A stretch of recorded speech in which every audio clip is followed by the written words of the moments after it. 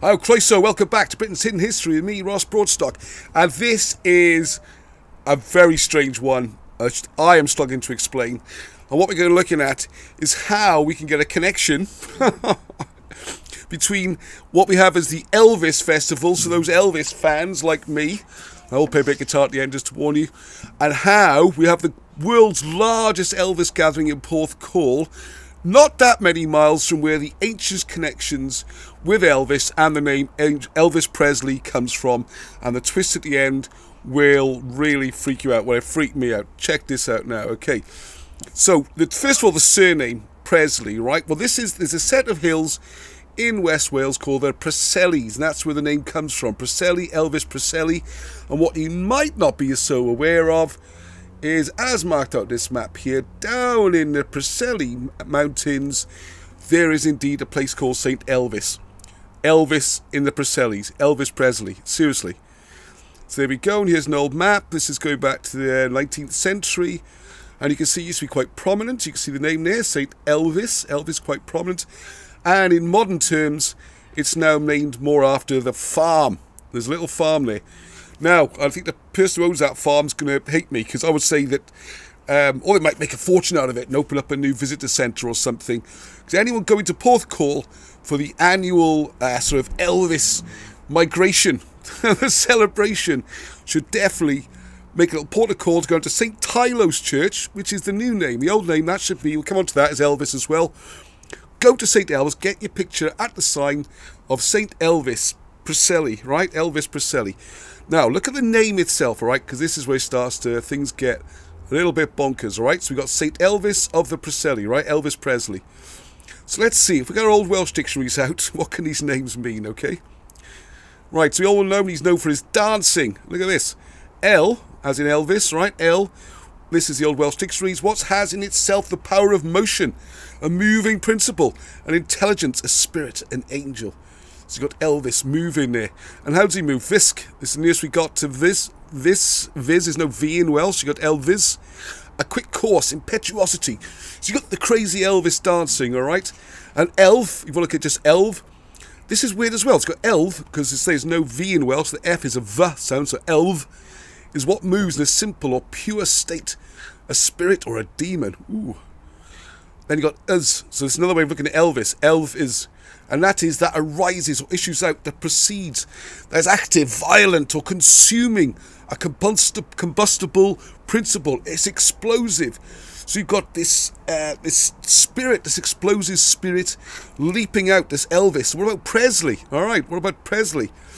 Well, there's there. There's a shot of some of the Preseli Hills. It's absolutely stunning. I spend a lot of time up there. There's lots of uh, cairns and stuff.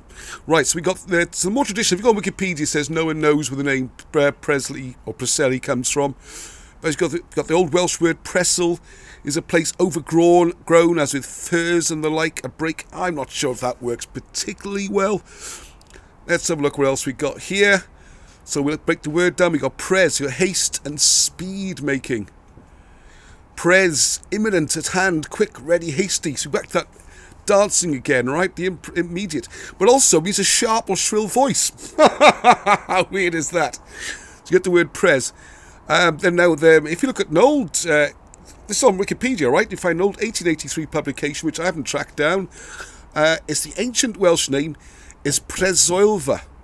So Presoilva. How does place of residence? So this is the place where you'd go to see Elvis, all right? What does Presoilva mean? This this is where it gets weird, all right? Oil is a gush out, a wail.